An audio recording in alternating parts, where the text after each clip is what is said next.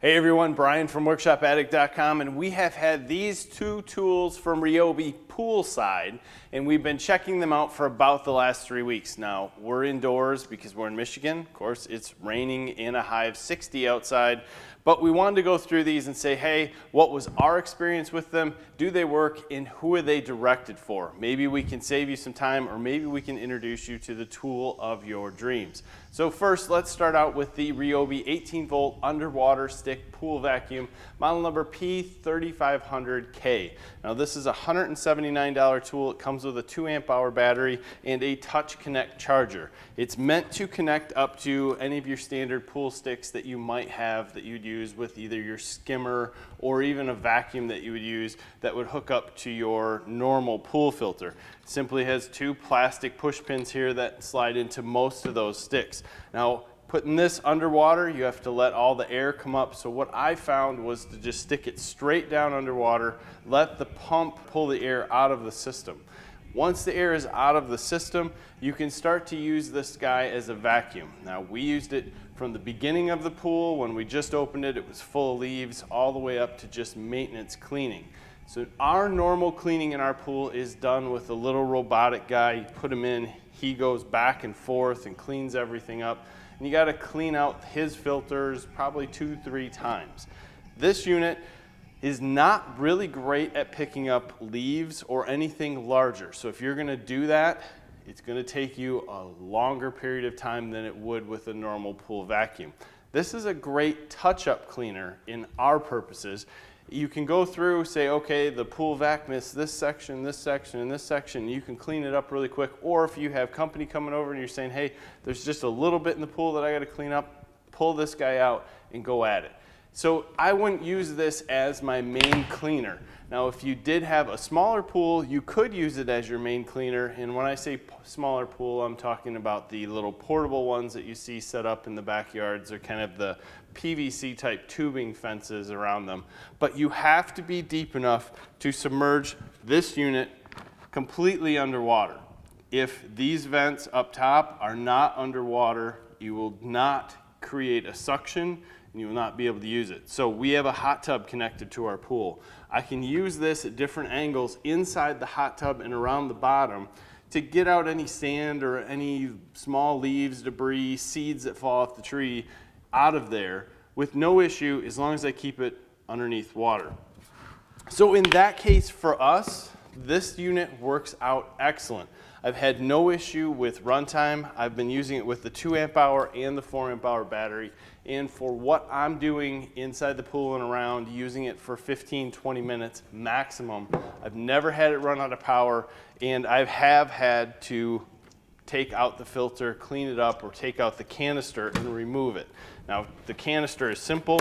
Pull up on that lever till it clicks, slide forward, and you can dump this out. You can see it's got some sand in it now. And there's a little green flapper up here that will hold the particles in when you remove it from the water. It's not perfect, but it works well. On the bottom, there are some rollers, so this is going to be safe for a linered pool or concrete pool, anything. And then there's some brushes here that just kind of help everything go together. If you look at this hole in the center, that's what you're sucking everything through. So large leaves or anything can kind of plug that hole up quickly, slow you down, and not give you the best of suction. The filter simply slides right out. You can rinse it out under a hose or backwards or back flush it, anything like that. It's very easy to use, easy to put together, take apart.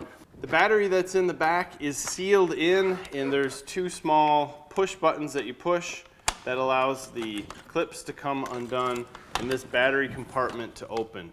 I've not seen any water in here. There is a rubber seal around this. I would make sure that that rubber seal is always intact. And when I close this unit up, I would make sure that everything is nice and tight because we have a saltwater pool and that is a big issue with batteries. You don't want anything corrosive inside these batteries. It can cause a lot of problems. Now the next thing that we've been using, and we've been using this quite a bit, it's the Ryobi 18 volt floating Bluetooth speaker and they say it has a light show with it. Most of the time our kids are throwing this in the water and they love it. They can Bluetooth their phones to it. They can Bluetooth just about anything to it simply just by turning the button on, pairing up with it. It's got some volume controls on the top. This is not overly loud. You're not gonna fill your whole yard with sound, but while the kids are playing in the pool, this thing can be rocking around and it'll give them plenty of sound to entertain themselves without disturbing the neighbors. Now the light show on here changes with your music. So basically when you throw it in the pool, it's just gonna be a blue light on the bottom. Once you pair to it, it'll change to reds and greens and different colors and sort of move with your music. That cannot happen unless you're paired, as far as I have found. I've not found a way to get it to just move the lights around randomly without music going. Now with this, you can take this and take it right underwater. We've thrown it in our pool. It's been submerged completely. We've had no issues. There are four locks on this. And this one is a little bit more difficult to get into than the vacuum. Not much, but it seems sealed really well. Again, the rubber seals around here. Drop your battery in. On the bottom here, there is a place for these LED lights that are around this rim to shine away and do their thing. Now, we can only see the LED lights at night. And at night, they are very cool. This is definitely something that the kids have loved to have around at night. But during the daytime, you don't even know the LED lights are going. You can't see them, even if you get close. So if you're looking for something to float around in the pool during the day for music, during the night for a little bit of cool light, it works even in the deep end. Has a great little light show at night. Awesome, small little unit that will work in, like, again, we have a saltwater pool. This has been drugged down to the bottom of the pool, 12 feet. No issues with water inside.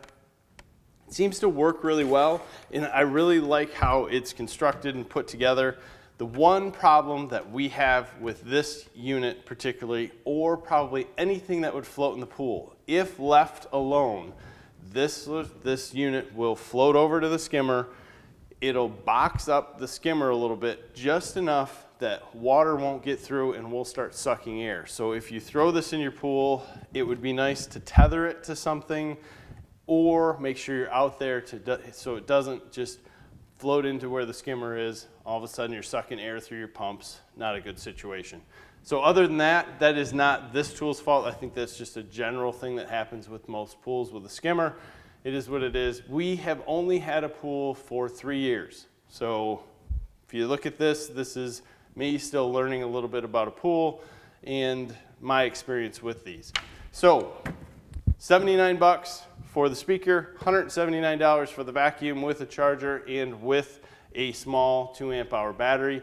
If it's something that'll help you out with your pool, that's great. If you're looking at this stuff as, hey, this is gonna you know, blast music throughout my whole backyard and give me some great bass, nope. If you want it to just you know, give the kids some nice music, it will definitely work. If this is gonna be your main pool vac for a very large pool, probably not, but it'll be a great pool vac for supplementary cleaning or if you have a small pool, as long as you can keep the whole thing submerged. So again, I'm Brian from Workshop Addict. I appreciate your time watching this video. If you could give us a like and subscribe to our channel and also follow us on social media at Twitter, Facebook, and Instagram. As always, we thank you for your time. Have a great day.